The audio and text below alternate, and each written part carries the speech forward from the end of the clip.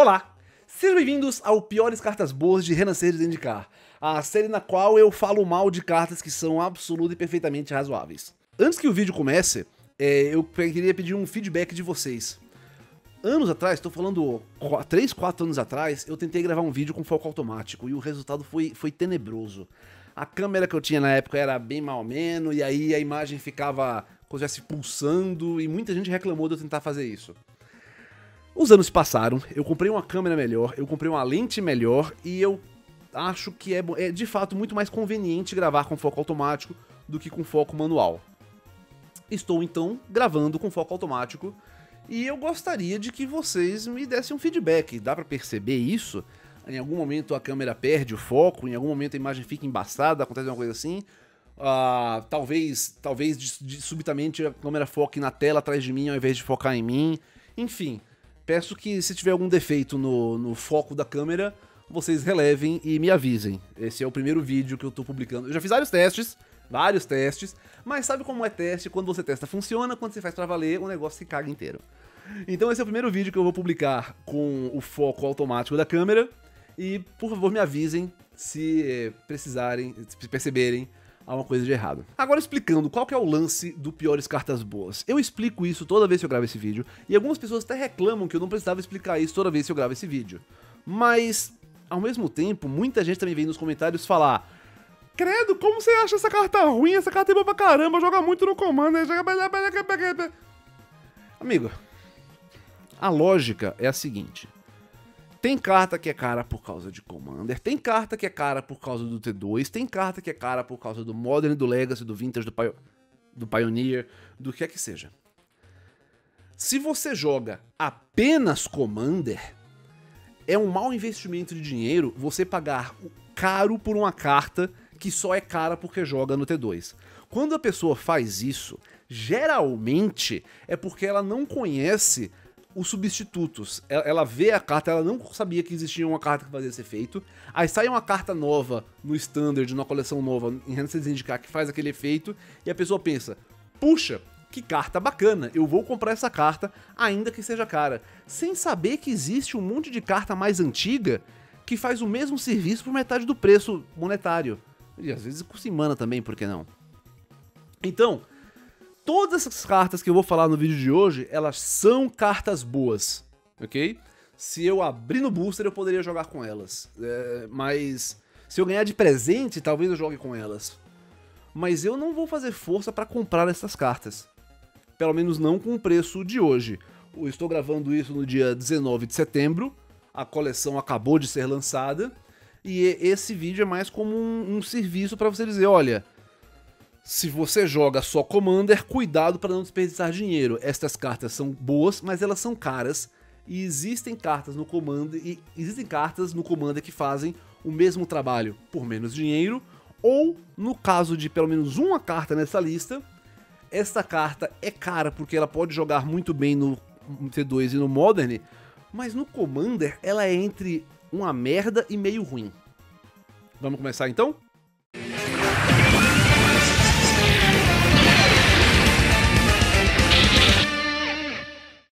E yeah, yeah, eu sei que vocês gostam que eu enrole para fazer introdução com 10, 15 minutos, mas acontece que o Piores Cartas Boas é um vídeo curto, rápido e direto, não tem muito o que o que enrolar neles. São, são as cartas, eu explico quais são as cartas que não valem a pena, eu explico por que elas não valem a pena, e eu explico o, como você podia gastar seu dinheiro de uma maneira mais eficiente. Não tem muito como enrolar nesse vídeo. Mas eu prometo que eu tento. Vamos começar com a carta que atualmente, hoje, é a carta mais cara de Renascer e Zendikar, e isso me surpreende terrivelmente. Despertar de Agadim. X e 3 pretos, volta do seu cemitério para o campo de batalha qualquer número de criaturas que tenham cada uma um custo de mana convertido diferente igual ou menor a X. Então se você paga 7 mana para o Despertar de Agadim, você vai voltar 4 criaturas que têm um custo de mana convertido diferente igual ou menor a 4. Então você vai voltar um de custo 4, você pode voltar um de custo 3, um de custo 2, um de custo 1, um de custo 0, ou você pode voltar um de custo 4, um de custo 3, um de custo 2, um de custo 1 qualquer combinação de quatro criaturas custando 4 ou menos, se x for igual a 4.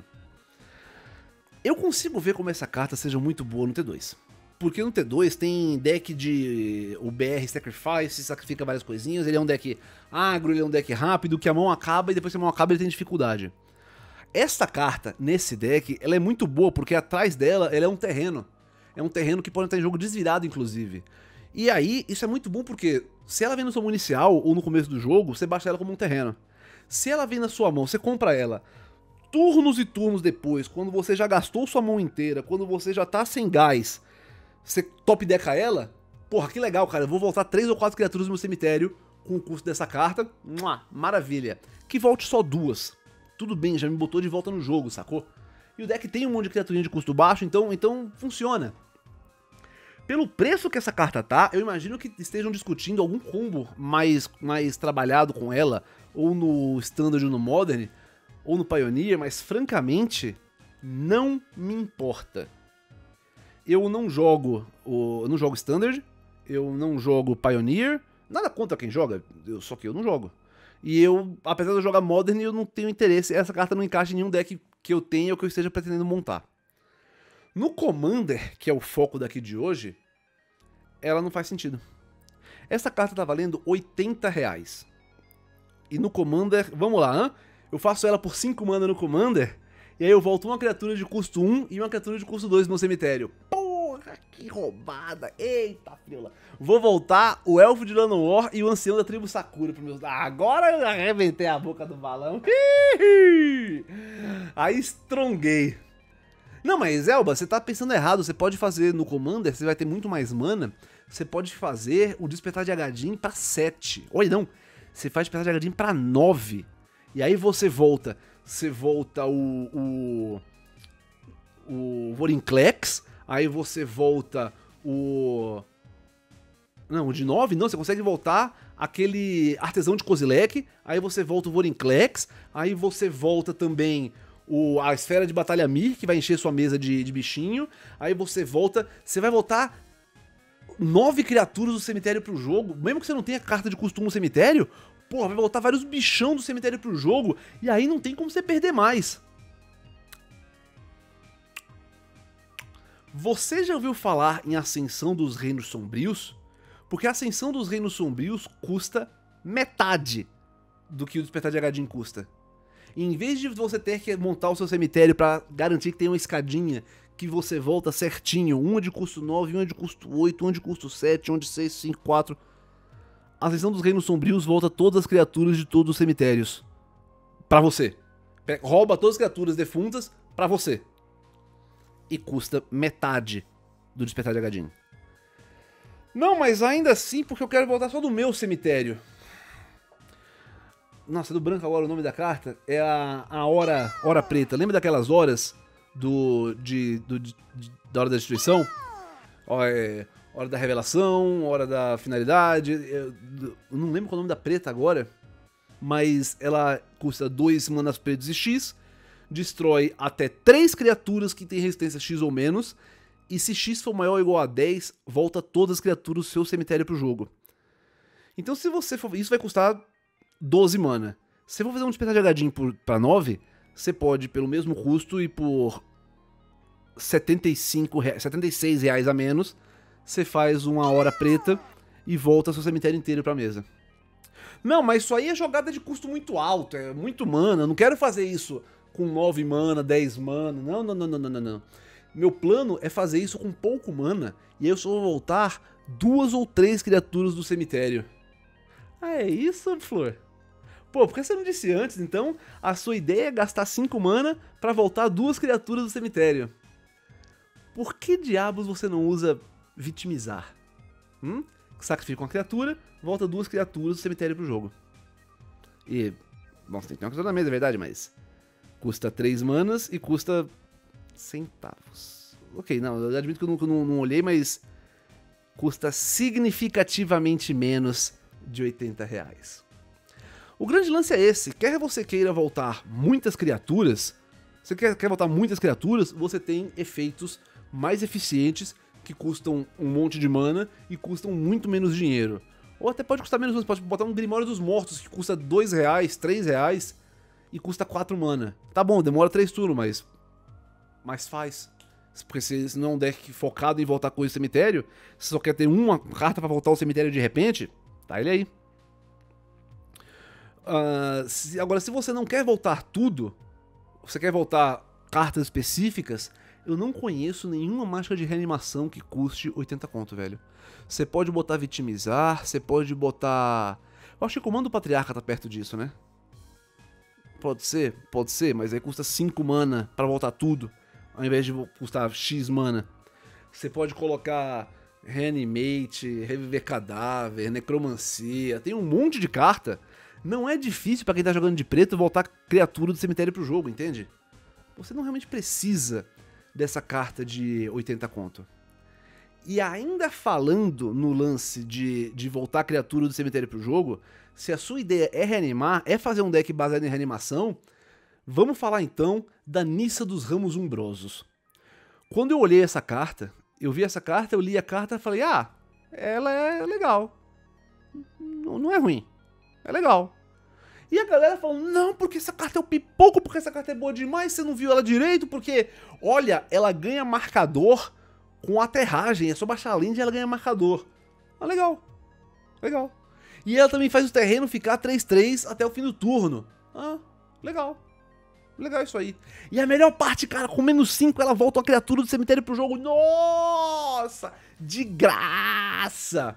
Alguém comentou isso no, no análise das cartas multicoloridas de Renascidos Indica desculpa, na, na análise das cartas multicoloridas de Renascer e Zendikar, alguém comentou exatamente isso. Falou assim, Elba, como assim? O roubado da Nissa não é que ela bota a criatura da sua mão em jogo sem pagar o custo de mana, é que ela volta do cemitério pro jogo sem pagar o custo de mana.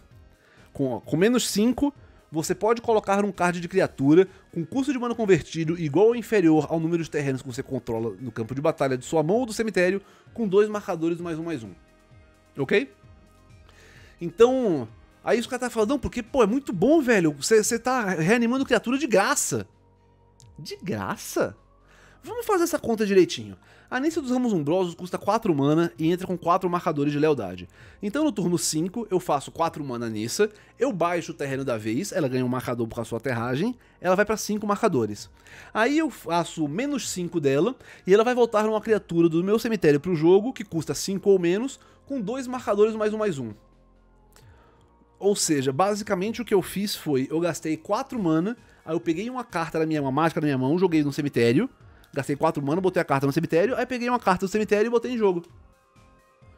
Nossa, que roubado! Parece zumbificar, exceto que zumbificar é uma incomum que custa centavos. Não, mas é porque a Nissa dos Ramos Umbrosos bota dois marcadores mais um, mais um e... Sim, tudo bem, a Nissa ela bota dois marcadores mais um, mais um. O zumbificar não exige que a criatura que eu tô voltando do cemitério pra mesa tenha um custo menor do que a quantidade de terreno que eu controlo. Inclusive, eu também podia usar Ritos de Desenterrar, que é 5 mana, volta uma criatura do cemitério pro, pro jogo, e ainda tem recapitular, eu posso por 4 mana fazer do cemitério de novo. Então vai custar os mesmos 5 manas, vai voltar uma criatura, de novo, não coloca a marca do mais um mais um, mas de novo, eu não tenho que me importar com o custo da criatura. E a, por que não usar o Despertar Aterrorizante, velho bom Dread Return? Também custa 4 mana, também pega uma criatura do cemitério, também bota ela na mesa, também não tem não bota marcador mais um mais um, mas também não se importa com o custo da criatura. E também tem recapitular, você pode sacrificar três criaturas para jogar no seu cemitério. E também custa sentar. Acho que é, Despertar Aterrorizante tá. É, desculpa, Retorno Aterrorizante. Eu acho que tá dois reais. É isso aí, dois reais. Em vez de 70, dois uma máquina. Mas aí, a Nissa, a Nissa também coloca criatura da sua mão em jogo. É, um bi é forte pra caramba. Ela coloca a criatura da sua mão em jogo, mas ela coloca uma criatura que custa menos do que a quantidade de terrenos que você controla. Eis uma ideia louca. Que tal se você economizar 70 reais e você virar os terrenos para gerar mana, e aí você coloca a criatura da sua mão em jogo? Hã? Da hora, da hora pra caralho, hein? Você pega esses 70 reais que você economizou, e aí você pega uma, uma, fração deles e você compra, sei lá, mano, compra um. Uma. Uma cimitarra dos leoninos, compra um, um lasca compra um equipamento qualquer aí, comunzinho, pra dar mais dois mais dois pra justificar, né? Porque com a Nissa a criatura entra com dois marcadores mais um mais um. Então é bom você ter um equipamentozinho pra compensar essa falta de marcadores mais um mais um. Porque, cara, e o terrível é isso. Você quer baixar a criatura da sua mão? Pega o Elfo Flautista, mano. O Flautista custa um quarto do preço da Nissa e, e bota a criatura da sua mão em jogo sem se importar com o custo dela. Não, mas é, você tá ignorando o fato de que a Nissa ela ganha marcador de lealdade com aterragem. Você tá ignorando o fato que em M21 saiu o Teferi, que todo mundo achou que ele ia ser o monstro do Lago Ness, porque ele ganhava marcador, todo turno ele ganha marcador. E aí ele mostrou que, na real, não adianta você ganhar marcador fácil, fácil, se você não faz nada demais com eles. A Nissa, mesmo que você baixe a Nissa cresça a criatura e proteja a Nissa e faça com que ela não morra quando você use o menos 5 dela, você só pode usar o menos 5 uma vez por turno. E ela vai ganhar no máximo dois marcadores por turno. Então a cada 3 turnos, você vai reanimar uma criatura. Eu vejo como isso no T2, num control no T2, seja legal. No, no T2 é, é, parrudo, pô. Imagina jogando contra um control brabo, vários board wipe, e a cada 3 turnos ele volta uma criatura do cemitério pro jogo. Nossa, numa guerra de atrito que eu não tenho como vencer. Mas no Commander, se você em vez da Nissa, tiver uma merenda do clã Neltoth, você volta uma criatura todo turno. Se você fizer um Carador ou um Muldrota, você volta a criatura todo turno. Se você fizer um Jarad ou um Skullbriar, sabe, um comandante que não exatamente precisa do, do, do cemitério, você não vai voltar criatura todo turno, mas você tem tantas cartas que fazem isso pra você, você pode usar o... o é, eu nunca lembro dessa carta em português, é Dreadbridge Change, é Cântico da Ponte Mortífera. Eu nunca lembro o nome dela exato em português, mas é um encantamento que eu adoro, cara, porque no fim do seu turno ele volta uma criatura aleatória do seu cemitério pra mesa. Ora essa! Maravilha! Tamo, tamo mandando bem aí. E o que, tudo que eu falei a respeito do Despertar de Agadin. Essa Nissa custa 70 conto, velho. Quantos Reanimators você compra com 70 conto? Você pode comprar Rever Cadáver, Necromancia, Cova Rasa. Acho que Cova Rasa é mais carinho e é até fim do turno só. É, rever Cadáver, Necromancia, Zumbificar, Reanimar, Exumar, Servidão Diabólica. E tem mais, e tem muito mais, eu só que eu falei de cabeça, cara. Ainda tem as criaturas, tem o Hell's Caretaker, tem Aprendiz de Necromante, é, Ladrão de Corpos, tem um monte de bicho que reanima outras criaturas. Você não precisa de um Planinauta de 70 conto para voltar uma criatura do cemitério para mesa. Você não precisa de um Planinauta de 70 conto para voltar, para botar uma criatura da sua mesa, para colocar uma criatura da sua mão na mesa sem pagar o custo.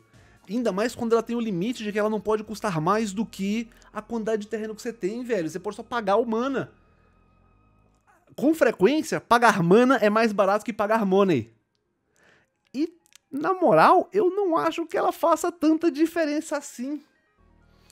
Você podia botar. Você, você quer ter uma carta cara? Você quer uma carta cara que faz diferença? Mete-lhe um Vorinclex no deck, acabou de dobrar todo seu mana. Mete um, um Despertar da Primavera, bota um Despertar do Mirari. Ok, Despertar do Mirari é mais chatinho porque ele tem branco também. Coloca um. Um. É, Vernal Bloom, Florescência Vernal, que chamam, não é isso? Aquele encantamento que, suas florestas, que as florestas geram mana dobrado. Tem um monte de efeito para dobrar o seu mana. E aí e vai dar basicamente na mesma.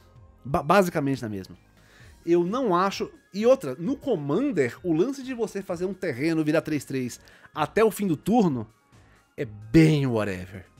No T2, no Modern, é legal, ela vai bater. Pioneer, é legal, vai bater, ela garante que bate 3 todo turno. No Commander, bate 3, tá bom também, foda-se. Você vai, dar, você vai dar 120 de dano batendo de 3 em 3? Cara, se você tá montando um Commander de reanimação, esquece essa Nissa. Se você quer um Planinauta, pega alguma das Lilianas. Eu não vou dizer que todas as Lilianas custam 70 reais, custam menos 70 reais e volta a criatura do cemitério pro jogo, mas a maioria das Lilianas custa menos 70 reais e volta a criatura do cemitério pro jogo. Não tem porquê você pegar a Nissa dos Ramos Umbrosos só para jogar Commander. Agora vamos falar daquela que eu acho que é genuinamente ruim no Commander, porque essa, eu vou pular, vou pular porque eu ainda vou falar de carta boa. Até agora eu tô falando de carta que é boa no comando, só não vale o que custa. As trilhas. O ciclo de seis cartas. As trilhas, para quem não conhece, são os terrenos que, quando entra em jogo, você escolhe o lado deles. Se vai gerar mana branco ou preto, se vai gerar mana vermelho ou azul, se vai gerar mana verde ou branco. Etc, etc, etc. Esses terrenos não são ruins. E, inclusive, eu esperava que eles fossem custar mais caro no lançamento. Hoje, dia 19 de setembro, eles estão custando entre 25 e 30 reais. O que não é barato, não é trivial, mas é um preço pagável. Se você precisa de um deles para fechar o seu Commander, é bem pagável. Mas aí eu parei a pensar. O motivo pelo qual eu não quero pegar nenhuma dessas trilhas. Se você joga há algum tempo, você já tem uma base de mana melhor e mais barata. Porque assim, a grande vantagem dessas trilhas é que você escolhe a cor de mana que ela vai gerar. Mas esse é o tipo de vantagem que só importa na mão.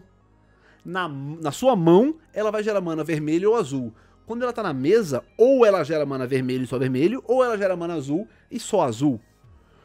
Então não dá pra fazer aquelas coisas como, por exemplo, no turno 1 você faz um terreno e faz mana branco, no turno 2 você faz outro terreno e gera dois manas pretos. Dois manas vermelhos, porque o, terreno, o Borg pode ser dois manas pretos. No turno 2 você baixa o terreno e faz dois manas vermelhos. Não tem como. O terreno, a importância do terreno gerar múltiplas cores de mana realmente é quando ele tá na mesa. Você até. Eu, eu sou partidário de que você pode jogar terreno é, pode jogar terreno? Pode jogar Commander com terrenos que entram em jogo virado. Eu não acho que é um, um, uma coisa terrível, eu não acho que atrapalha muito o seu jogo se você tiver vários terrenos que entram em jogo virados. Eu tenho o deck 5 Color, que todos os terrenos, todos os terrenos entram em jogo virado. E, e, jogo. É o melhor deck que eu tenho? Não, não é, mas eu jogo e não. Tipo, beleza, estamos aqui jogando. E aí, quando você. Você até pode discutir que não é muito mais importante o terreno entrar de pé do que gerar várias cores. No construído, no T2, Pioneer, Modern e Legacy, é verdade, é mais importante o terreno entrar de pé do que ele fazer várias coisas, cores de mana. Porque você não pode se dar o luxo de não ter mana no turno 1 ou de só ter um mana no turno 2. Não pode se dar o luxo, vai perder o jogo por causa disso. No Commander não é bem assim. Se você faz no turno 1 um terreno virado, me, tá bom. Nobody has door, ninguém se importa. Você vai continuar jogando, no grande esquema das coisas, no frigir dos ovos não vai fazer diferença realmente. Mas um T2 Pioneer Modern, hum, é, não, não vai estar rolando.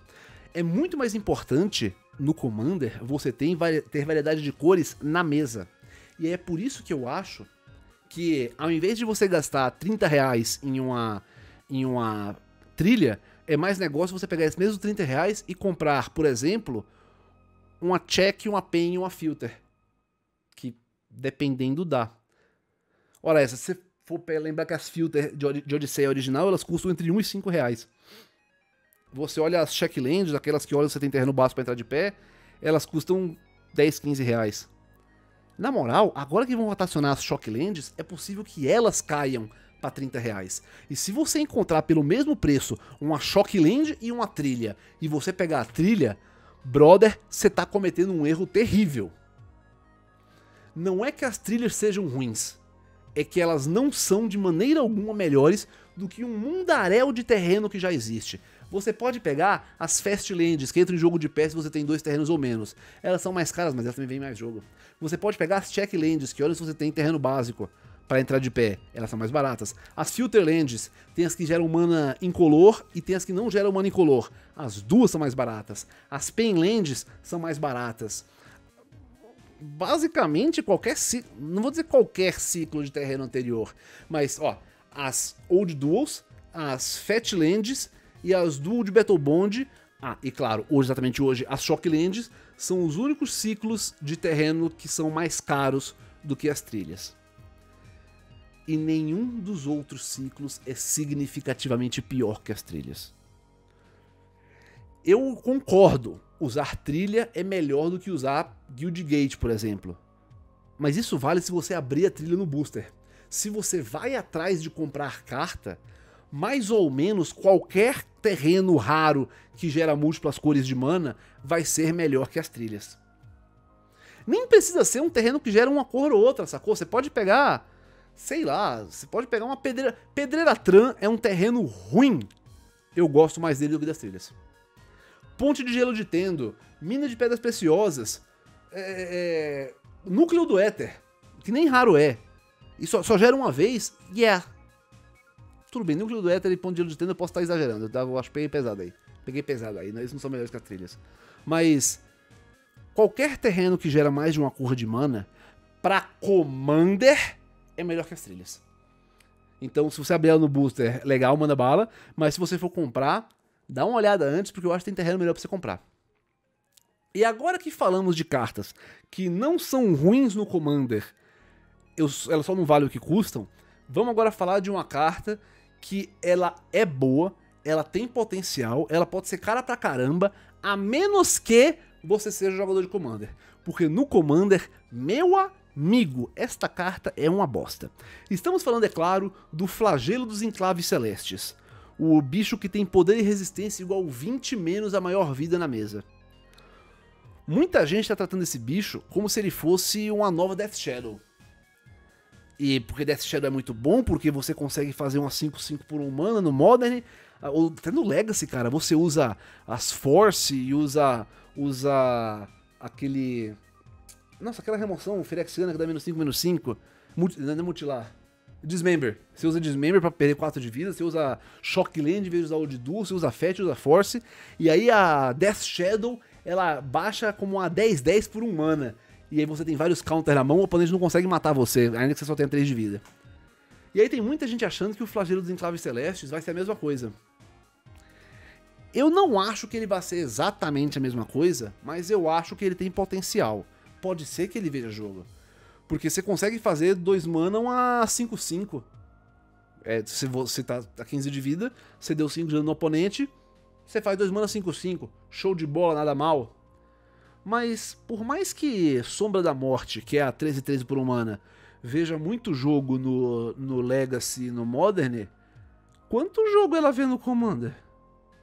Quantas pessoas você conhece jogando com Sombra? E não vale o bonitão que tá jogando com deck de Varols que usa Sombra da Morte pra, pra necrofagia, não, hein? Tô falando de pagar um mana e botar a Sombra da Morte na mesa e o cara tá com 3 de vida segurando três oponentes. Isso eu quero ver o cara fazer.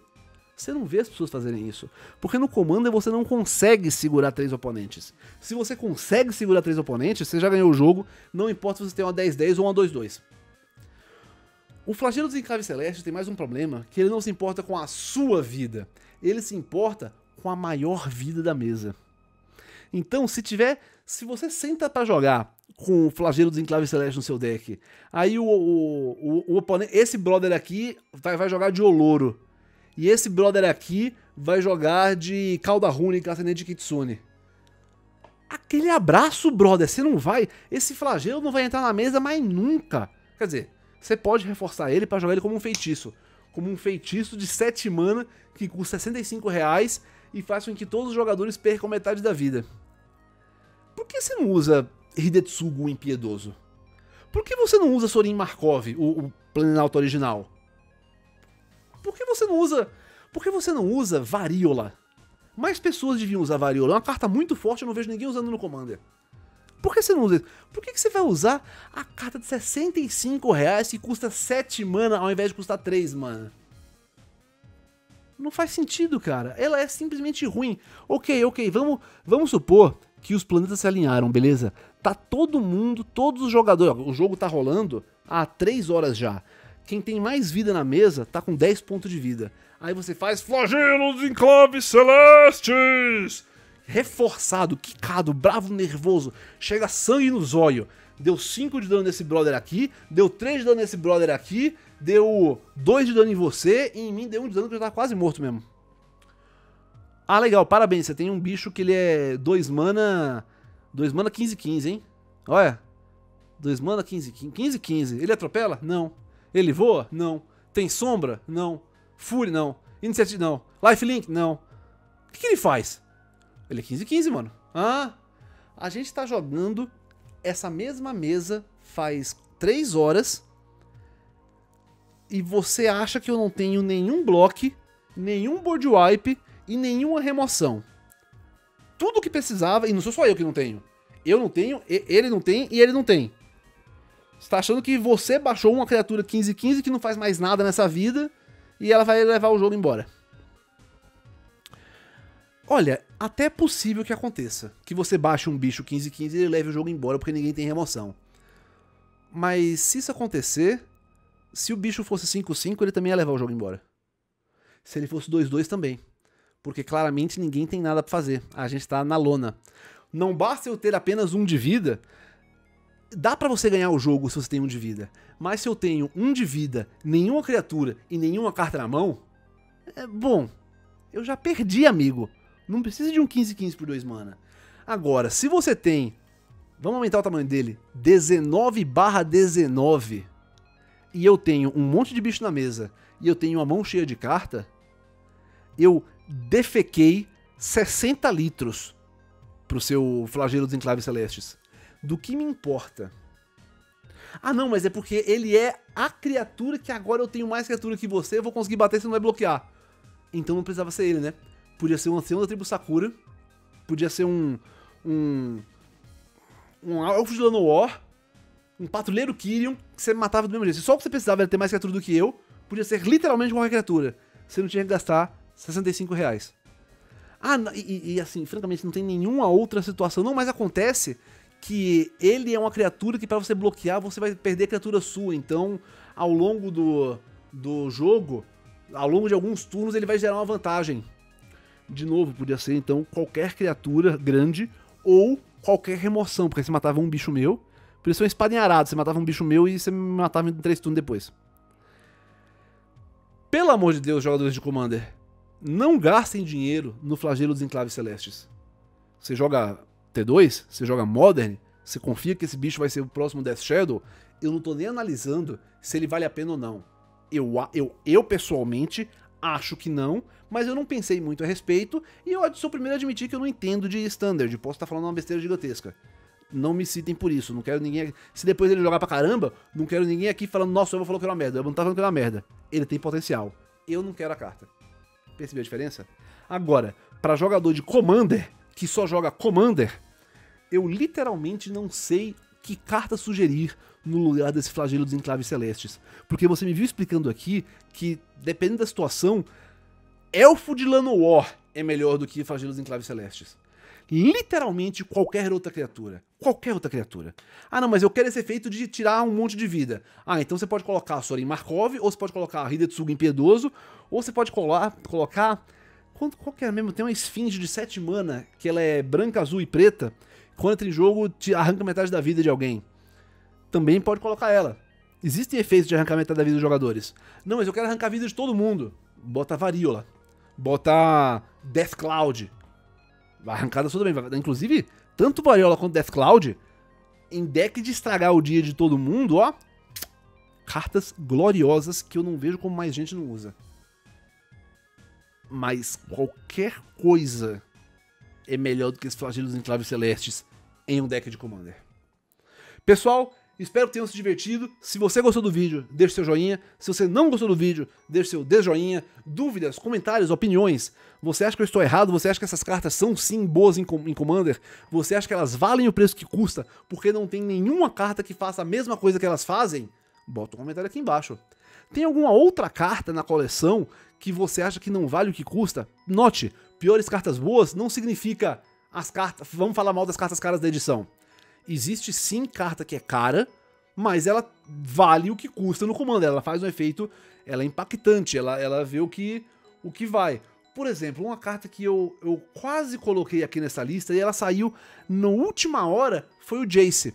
O Jace dessa coleção, ele é, ele é carinho, é 50 conto.